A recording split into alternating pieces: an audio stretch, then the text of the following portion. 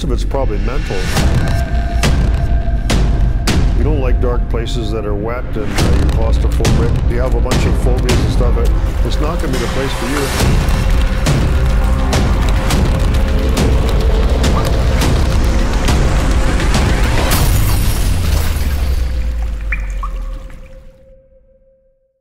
So if you get up and fly over Phoenix today, you'll see a big open pit. So there was two two periods of uh, mining up there. Uh, it first started around 1900 and it shut down 1920. And then they went in in 1956 and they started a big open pit, which actually destroyed a lot of the underground workings and it was shut down for the last time in 1978. So this is all from the from the very last time when they mined back in the 50s and the 60s, and this is the big open pit. Um, but by far, you know, the most interesting thing about Phoenix is uh, is what's underground. So that's mostly what we're going to show you. This is actually straight ahead there. This is where the whole town of Phoenix was. There's nothing left there at all whatsoever. It's under about 150 feet of rock when they mined in the 50s. This is the back wall, and this is where all the stuff that's still left here. So um, when you go back over the back wall, um, they destroyed all the everything in the pit was all uh, same thing was all tunnels. There was 37 miles of tunnels there, and that was all destroyed. But there's still miles and miles and miles of tunnels left in, the back wall, and that's uh, that's where we're going to go into. So as you start flying over it, you can start to see all these big holes, um, the open stopes, the tunnels, and, and that's all remnants from the mining that shut down in the 1920s. Pretty incredible to see it flying over it with an airplane, and you can see where these big, big, big huge holes are that are still visible today. Um, we've got the drone here, so we're going to get the drone down here and show you some a little closer uh, aerial stuff. Uh, you fly over it pretty quick with the plane, so there you go. So with the drone there, you can kind of see uh, pretty good where the bigger holes are. And there's, I don't know, dozens and dozens of them. There's all kinds of places to get into. It's pretty neat. And this is actually the rawhide, the rawhide mine. This is what they call BH. It's called Big Hole. And uh, it's, I don't know, it's probably about 20 feet by 30 feet, something like that. It's the biggest opening there. But there's a whole bunch of openings and all, all different sizes, big ones, small ones medium ones, ones you can barely squeeze through. This is the snowshoe pit. Uh, that was that was all mined too, and it's flooded now. So the Phoenix is actually a, a combination of about 12 different mines that were all amalgamated together into one mine called uh, Phoenix. But really, there was you know the Gold Drop, the Rawhide, the Monarch, the Snowshoe, whole bunch of mines. So we'll just jump in there and we'll show you what's under there. And quite a bit of work, you know, going through there. And we spent about uh, three years actually going through all these and have all these videos. And we're just kind of put this all together, all the best stuff we can show you there in, a, in about you know 30 minutes or so of all the very best stuff under Phoenix. This here is uh, called a square set. And uh, you can see it's like a Lego set. All those timbers are notched.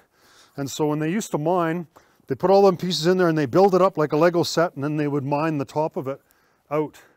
But uh, they quit doing that because it's a very expensive way to mine because you have to cut all these timbers and put them up. And now what they, what they use is they use uh, pillars. They just keep these big pillars and they hold the formation up. So, um, and that was a, a, one of the things that the Granby company started a long time ago that really made it a lot cheaper to mine than when they first started. So this is an example of a pillar. You can see these huge pillars, and this is a pretty big area. If you look in that little hole, that's a ladder way back in there. So, and all in through these huge stopes, but Still a lot of loose rock if, around the around the edges. You know, look at some of this rock, and it's really kind of dangerous. You have to look at the rock and and see if you want to go underneath it. That's just barely hanging in there, big cracks, and the frost is what is actually peeling this uh, rock off of there. So, so some of these holes are really tiny to go into. You know, some of this pretty old footage, eh? So we didn't have helmets to begin with, but they just got in our way anyhow. And then we started, you know, learning more about. Uh, about the art of exploring mines and got more safety gear and uh, and got helmets and that kind of stuff. But uh, so it's just a lot of these holes. Climbed in every little hole I could possibly get into. Some of them went in a long ways and got lots of cool stuff, and a lot of them just didn't uh, didn't go in at all. Um, so this was kind of exciting. We are digging then through something and I had a bit of a, a, a whole bunch of rocks slid down there, but it didn't get buried in there. Um, it was just kind of a funny thing that happened. Pulled myself through and then dug out. So uh, yeah, lots of little holes we squeezed in and out of, and uh, and dug down through it, and uh, learned a lot of things as as I was going along there. There's some stuff I did um, back then I, I wouldn't do today. So so this is inside the you know some of these big stopes, and, and you see big holes here. Look at the size of some of these rocks that have fallen off the back uh, over the years. So um, you know that's definitely a hazard. I never had any big rocks fall off the top when I was in a mine, but um, yeah, it's a hazard if something that big falls, uh, uh, you don't have to worry about getting injured anyhow. It'll just squash you like a bug. But uh, uh, same thing, you know, the frost gets in there and it peels those off, and then over time it uh, they just kind of come down. So that's one of the hazards in mines in these big stopes. Uh, so uh, you'll notice a blue writing on some of these places, and, and we had to mark all these areas off because we kept getting lost and going back to the same places. Ended up using a whole case of paint. So this is a good example about something that was kind of maybe, I don't know, um, that I did was maybe a little careless and I didn't realize at the time. So uh, I'm working my way up in this chute here, this ore chute where all the ore come down here and it's all kind of rotten and, and it's okay. But um, look at that big rock there. So there's a, so we're pulling the pulling this uh, the rotten parts of the chute off, and you know, as so you can tell it's all kind of rotted and falling apart. But um, this big rock here, so so I never really thought about this, but see this big rock probably weighs about 500 pounds. It's barely sitting in there, and as I was climbing up there, if that would have come loose, it probably would have fallen down and fallen on top of me. So um, by far the biggest hazard in mines is always something falling on you, and you really got to think about that. Um, you know, you think with ropes and stuff that, you know, you're worried about the rope breaking and you falling. Very unlikely for that to happen, but there's so much loose rock in there that really is a hazard. So we started to learn a lot more about ropes and stuff and getting that, and um, just went down some of these big shafts. This shaft was about 120 feet down, and um, some of them shafts they didn't go anywhere. They just plugged at the bottom, like this one was, and other ones went to different levels. So um, just kind of a lot of fun learning about the ropes and getting comfortable with it. Very exciting to go straight down some of these, uh, you know, these deep holes, and uh, and a lot of work to come back up. Uh, a lot of places you just had to use a, a rope and a hand line just to kind of guide you to go up and down. Um, very important with the ladders. Uh, some of them are very poor shape because they're 120 years old to to have ropes. So if something happened, uh, then you know you'd be uh, you wouldn't fall down. Uh, that's what killed a lot of miners in the old days. Uh, you know, either someone was working above them and some rock came down or they slipped and fell down. Some of these big chutes or, you know, got run over by the trains or a lot of different things. Um, don't really feel it's that hazardous if you're very carefully don't touch anything to kind of sneak through there. Um, but it's always the big hazard. Something's gonna, something falls on you.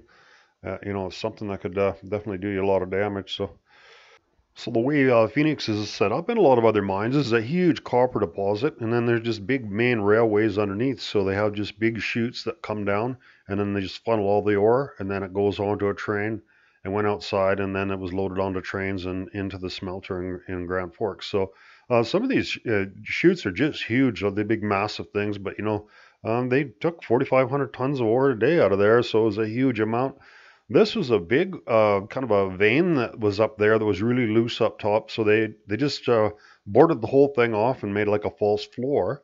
And then they had all the chutes, uh, just had little holes in between. And then the, the carts, uh, they loaded up the ore in the carts. And uh, But it went that, that, uh, that deposit went way up quite far. And then it was all mined out, eh? So it was this really old part of that mine. It was probably around the turn of the century, around 1900. It's one of the lowest parts, and actually you can walk right under the pit.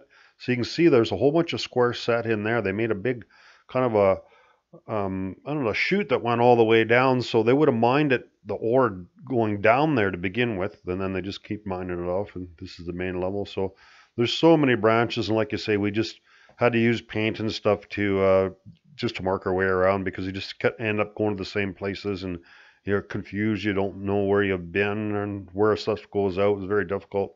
It's a huge, uh, you know, I spent like weeks and weeks going through the, that's, uh, you know, there's miles and miles of tunnels there. It's just huge and very difficult to find your way around uh, just from memory. One of the really cool things about Phoenix is the ice in there. There's a lot of places that are permanently frozen. Um, year round, it melts a little bit in the summertime, but then the ice forms back in the wintertime. Some of the areas are starting to retreat because we opened up some areas that were closed and the air is moving through there. So that's one of the really unique things. So this one part, uh, it was frozen, but there was also open water. So we had to uh, go in with a waterproof suit to try to get to this end of the thing. And um, it was pretty exciting. So this kind of a waterproof suit, and this is just clear ice. I was walking through it. And as I got into the other part, it uh, wasn't frozen as far, so I fell through the ice. Um, so I don't know. It was pretty exciting, I guess. It wasn't a total surprise, so I was kind of prepared for it. And uh, yeah, that waterproof suit wasn't waterproof, but uh, I managed to crawl my way out of the ice, and it was all right. It was all good. So the reason you have flooded uh, parts in Phoenix is basically the Um, you see those big chutes, they, uh, a lot of them are pretty rotten, so either a bunch of rock come down or they just completely fail. So it makes the dam so the water, you know, can't get out. Usually most of these uh, these rail lines are built at a slight increase, so they drain themselves. But over the years, you know, rocks get up there, and, that, and that's why you have deep areas that have water in them. So some places it's water, and some places it's ice. There's a bench there, and that's where the chute guy would have stood and operated the chute that opened and closed. As you can see, there's about two or three feet of ice here uh, because the chute would have been that much higher for the train to get underneath there. So quite a bit of ice there, but makes it easy walking when you're just walking on top of the ice. So there's lots of other common interesting formations in here, and uh, here we're coming up to a raise. So you look up there, and that's uh, chased a, a, mineral vein up there, and you'll just see there's just a, a little band that just kind of pinched out. You can see where the pay is. Just that thin band is what the, where the ore was, and it pinched out, and they didn't go any further up that raise. Some of the craftsmanship is just fantastic, uh, especially in this. So you see this one here, you can see all those timbers and how they were notched in there and how tight all this fit in there. It looked like there's some kind of a master log builder or something, but that was a trade they had. The timbermen, they specialized in that. You know, the miners did their job, and there's timbermen and trackmen. They had lights inside of Phoenix, so these are these are the electric lines, and this is just where the lights were because they had all lights there. This was actually for the train, the electric uh, electric train. That's the very end. And this brings us to one of the most interesting places in, in Phoenix, or one of the most interesting artifacts. And here's an old train that was under here. So there's 10 of these old carts. Now, these carts are very old carts. And here we built a brand new one. We took all the parts one of them old carts and we totally took them apart and we reconstructed it. So this is what it looks like when it was brand new. So we just took all the metal parts of one of these, some of these carts, and we built a brand new one. We stuck this in our museum. So uh, we wanted to preserve that so people could see what these carts looked like. These carts were uh, first, uh, when they first started the mine, they would been pulled by mules or by horses, and then after by train. Um, but these are these are old wooden carts, and they were replaced with uh, with metal cars uh, called the Granby cars in later years. And this is the reason why these were here because they're just uh, wooden carts. They're pretty crude, and they just pushed them into a place in the mine. And there's many places they just pushed them over the bank. So these are obsolete, old, very old carts um, down. And the interesting thing is, hmm, you look at them, and no two are exactly the same. They are kind of unique. Eh? Um, some of them they had uh, different features on them, and and here's the you know the tailgate and the locks and and everything like that. And um, also they're not solid either. They just kind of had chains that uh, that held them together. So originally they would have just a mule or a horse would have pulled just one cart and then uh, they strung them together. So here is some graffiti. You see that in the mine all the time, and it's really cool. It's made by a, a carbide lamp, and you can just write against the walls. And it's kind of tradition of the miners, and lots of times when they finish uh, a drift or something at the end, they would write their names on it. But then also explorers in later years, in 1940, the, the mine been closed for a long time. They were just people that were either doing some surveying or exploring, and uh, and they just kind of wrote their name on the on the end of it. Cart here, and basically this is just like a wheelbarrow in a mine. It's very small, and uh, it's just for a small area here. They've just shoveled ore into there, pushed it along there, and then dumped it into the into the ore chute. And see, this is all riveted. Arc welding wasn't common until about 1920, so anything before uh, that was constructed before that's all riveted. Here's another one of those little carts. Uh, they're not very big. They just would have pulled those by hand. So you can see the, the axles and stuff off of there, but the tipping mechanisms is still there. So we actually ended up taking this one completely apart and um, and we rebuilt it uh, in our museum. So we took this, uh, it's called the truck or whatever. Uh, this is where the axles are. This is pretty old. It doesn't have wheel bearings. They just use uh, the squirt oil in there and it just turned on there. There's no bearings and there's nothing welded on here. So this is pretty old. It would have been built around the turn of the century or so and basically just a wheelbarrow in a mine, and the, and the miners load those up and took that. There's also all kinds of old boxes and some really cool stuff. Uh, a bunch of it was frozen in. This one here had a uh, tracks, uh, track gauge inside of it, and uh, tools, and you see all kinds of uh, railway spikes and hammers and different things, and um, found all kinds of cool stuff in these boxes as they come out. This is the bottom part of uh, of the big ore carts, uh, like the one I have in my museum there. So um, that that's sitting there on the top. That's the top part of that same same cart, same ones uh, that I rebuilt in the museum there. So there's uh, yeah, there's quite a few, like a lot of interesting old artifacts, and especially with some of the areas that are starting to thaw out in the ice, we're seeing stuff uh, coming out of the ice on a, in a pretty regular basis. So it's kind of neat going back every year and seeing what changes. This is the miners would have had their boots and stuff in there, just a little storage thing. And this is a really old staircase. It's and uh, some old drums. It's a it's a really neat feature that you see that. It looks like an old haunted house or something like that. Um, but the you know, stairs are pretty rotten and stuff. But pretty neat to see that. And there's a, another shot from the top of the stairs there. And uh, we tried to dig it out in the bottom, but we have no idea actually where it went to. It's all collapsed in there. This is an old drum, and it's gone now. It's uh, somebody took it out of there, but I had a little small one like that. I took and put my museum, and it just rotted as soon as it got out in the daylight. It just rotted in no time at all. So there's a really old ore gate that's all riveted. Lots of those old riveted uh, ore gates there. And here's another style of uh, of cart that's underneath an ore there. That's uh, just got abandoned there, and then with lots of dynamite and uh, and um, explosives, uh, explosive boxes from uh, CIL, uh, Polar, uh, Hamilton Powder Company, Giant Powder Company, and this was a really nice box that a guy was in there. He found it, and it was the rats just buried. I don't know why they didn't chew it, but um, it looked like it was almost just set there. So the Giant Powder Company was first Alfred Nobel was the one that first allowed them the patent to produce dynamite. He invented dynamite. So that's a really old, rare box and just in, in pristine condition. Most everything's rotted. Uh, here's some dynamite and lots of dynamite. You see it here and there, case here and there, and uh, loose sticks of dynamite. Um, here's some more. Um, this we well we wanted this box, eh? And uh, it it's really dangerous if it uh, starts to sweat. Uh, but this stuff didn't seem to be sweating. Probably was a little careless with that. I don't know if I'd do that again today. But um, yeah, luckily it didn't blow up or anything. So we did a kind of experiment. Um, so we took a bunch of this dynamite and uh, someone told us that um, after 50 years or so, the nitroglycerin sweats out of it's not dangerous anymore.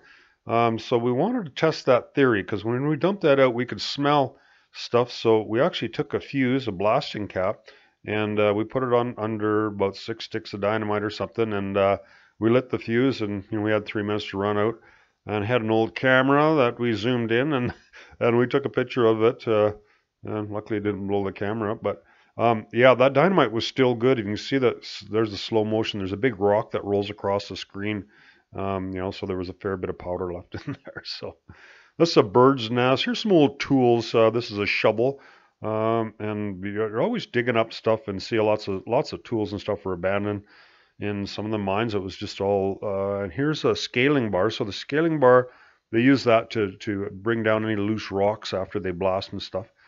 And this brings us to a big frozen section. There's some places you can't even get into. They're completely frozen off. This is what we call the ice palace. It's a huge formation. It's like a big skating rink and there's a huge slab of ice there that is 15 feet thick. We measured it and uh, over time, because we opened this area up, the air started circulating through there and it started melting. And then we noticed all of a sudden there was a bit of a, a gap from the wall on the side of the ribs. And we looked down there and thought, oh, that's wide enough. You know, we could probably get down there.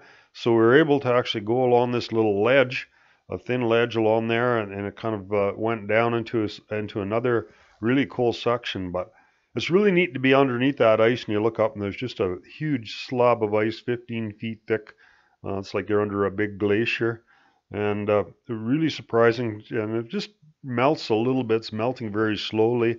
In three years, uh, there's only about 12 feet of ice now, where there was 15 feet of ice.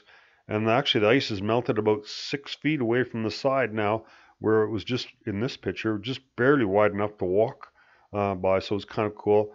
And again, you know, more and more stuff is coming onto the ice every year, so we're discovering more stuff that we hadn't seen under the ice before, and uh, there's a there was a whole new section underneath that part of the mine that we never ever saw before, um, that nobody obviously has been able to get into for a very long time because it was completely uh, sealed off by ice. But um, so we were able to get down there, and there was a ladder there. Um, the ladder is in still pretty good shape, but we had to get ropes to get down to it. And there was another level underneath there, and we were able to explore that, and uh, we can show you some of that in a little while. So but it was one of the most uh, amazing things to be able to, to get down underneath that ice and explore along the, the sides of the ice palace, the bottom of the ice palace. And um, anytime you bring someone in there, they're always amazed by about the ice. You know, um, when you go in there, it's a very beautiful place to go along there and take pictures and stuff. And it's it's always fun showing people that they've never seen anything like that before. So this is the bottom part. Um, this is actually a, a big ore chute where they tipped ore down in the metal on that frame is to keep that from wearing away and, and uh, the ore went down to a lower level. Oh, there's wet sections in Phoenix too. Uh, you know, for a mine that size, it's not really too bad. Uh, mostly fairly dry. It's actually surprising from year to year. Some years you'll have a place that's got maybe a couple of feet of water, and then the next year you go back and it's dry. So uh, it kind of depends on the you know how things are freezing and thawing out in any particular time. But most places you can get through with uh, you know the rubber boots. Odd place a little higher than that. And uh, this brings us out to the this is the one of the main entrances going into Phoenix. This is the the gold drop. Uh, the number three portal was the main haul level, and a lot of ore came in and out of there. For there was a blacksmith shop right on the outside of that. So the, um, also we've seen a, a, buck in there. So that happens in mines sometimes. A deer will get in there, and uh, rats are very common. You see rats in mines, and uh, yeah, they're not really scared of people. They're kind of cute, you know, but uh, I don't really enjoy them all that much. For one thing, they're really stinky But uh, what I'd prefer to see is some cute looking girls in mines. ah, it's always fun to take someone into a mine that's never been to a mine and uh, show them around. So, uh, well, lots of interesting places to see, and there's some bucket there. And this area is another area that's kind of below the ice palace. It's uh, it's got some huge icicles and stuff in there. So went in there and uh, filmed some of this stuff. And same thing, you know, it's uh, it was a, just a tiny little hole that he squeezed down into and uh, dug it open. It's basically just kind of sealed uh, year round, but there's a another level down there, and there's a track and a whole bunch of ice and artifacts and big ore chutes in there, and there's ice flowing down from some higher levels from there. So this is actually very unique. Uh, there's very few mines. I've never been in a mine that there's ice year round in other than this one, and it's actually not in a huge part of the mine, but you do see it so if you look up you see the hanger for the electric railways, which is amazing, you know, they hauled 24 hours a day, seven days a week, and uh, you know, they had electric railway underneath the that mine on top of a mountain, you know, 120 years ago. You know, just actually fantastic when you think of that, you know, the technology. And they hauled ore um, out of that mine up at Phoenix to Grand Forks to the smelter, uh, 24 hours a day, seven days a week, right until 1920 when it was shut down. And there's been nothing that's happened since then. So you know, everything here is, uh, you know, at least 100 years old that you see inside this mine. So pretty interesting to, you know, to take people that have never been underground and stuff before and, uh, and show them some of this history. It's, it's one thing to read about it, and it's uh, something else to see it. So we're just going to take the girls here for a little tour of the cars and, and then uh, I'm going to climb around some of these big stopes, and it's really fantastic to see how large some of these uh, the stopes are in these mined areas that you can walk up there. So luckily they're in pretty good shape. They're able to make her up and down there. And you just look at some of these huge holes into there. And this is a big glory hole. They call that a glory hole. It's just a huge pit. And they mined everything out underneath there all the way to the surface. And it went into the trains below and, uh, and it took off from there. So um, yeah, this is another shot of BH, which is that big hole um, that come right to the surface. They call that a surface stope. So Anyways, I hope you guys enjoyed this uh, tour of uh, of the Phoenix mines uh, and the Granby that operated it, and uh, it's one of the most fascinating mines that I've ever seen. And we've been there so many times, so we just thought we'd kind of put everything together into into one uh, you know 25 minute video for you.